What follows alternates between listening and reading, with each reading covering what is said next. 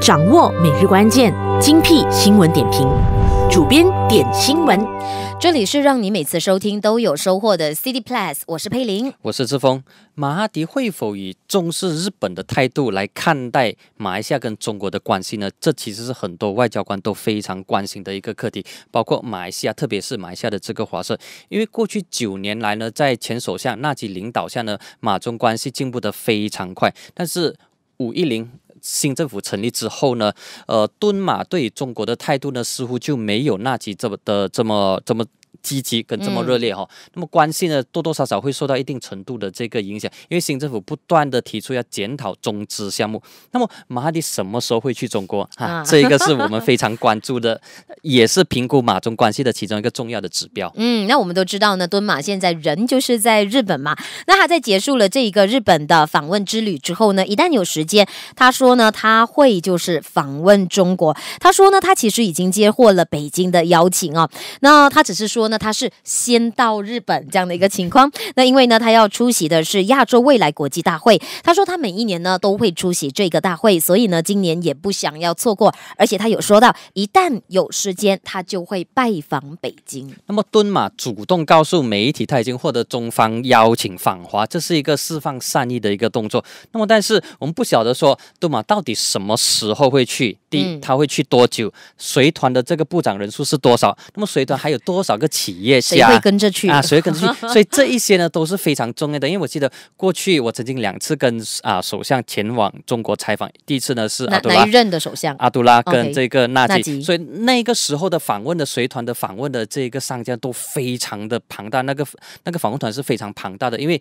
啊首相除了去拜见中国主啊国家主席跟总理之外呢，他也会出席一些商家举办的一些大会，所以那个时候呢是马中企业马中商家两国。的商家在那个时候洽谈啊，以及建立关系的一个重要的一个一个场合。那么马中关系呢，除了是这个中国是大马连续。七年的最重要的贸易伙伴之外呢，除了贸易之外，还有另外一点是啊非常重要的，就是在外交的这一块。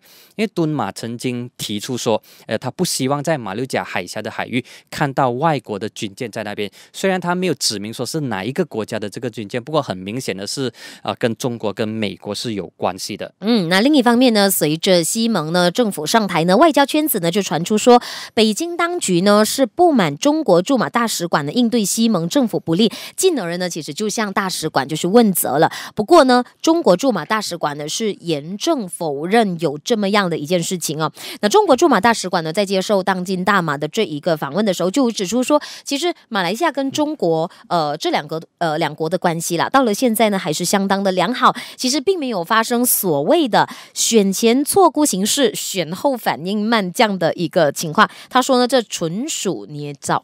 那么之前呢，就有一些啊外交圈子的一些。消息就说，因为大马政权更替呢，那么北京就有意重新检讨马中之间的这个政策。因为消息指出，在第十四届大选之前呢，马华有四处张挂总会长廖仲来跟中国国家主席习近平握手的照片，但是中国驻马大使馆在当时没有立即阻止，所以这一个动作呢，就引起北京当局的这个不满。同时，也有一些外交圈子在传出说，诶，中国。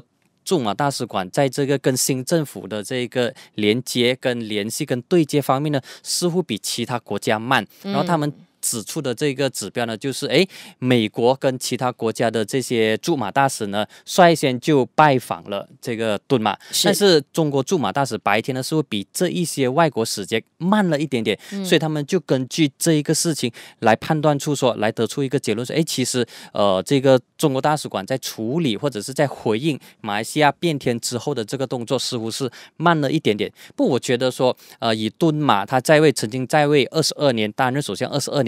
他的这个外交手腕是非常的这个老练，他还有另外一张王牌可以修补马来西亚跟中国的关系，就是五人。资政理事会的这一个其中其中一位其中一名元老，对这个元老呢就是过贺年，过贺年是比杜马还大一岁，而且过贺年在这个中方是相当吃得开的一个啊非常受到敬重的人物。嗯，谢谢你呢，就是跟我们一起关注了今天的这三则的重点新闻。想要了解更多呢，就是当天发生的重要新闻，每一天下午的五点三十分一定要守住 City Plus 主编点新闻。谢谢志峰，明天同样时间一起主编点新闻，让你听懂更多。